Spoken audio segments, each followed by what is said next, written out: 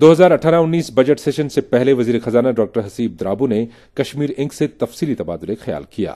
Excise and taxation complex Srinagar میں منعقدہ اس میٹنگ میں commissioner commercial taxes excise commissioner اور دیگر افسران کے علاوہ Kashmir traders federation Kashmir economic alliance اور دیگر تجارتی انجمنوں کے نمائندوں نے شرکت کی۔ میٹنگ کے دوران وزیر نے متعلقین سے تجارت کے فروغ کے لیے تجاویز طلب کی۔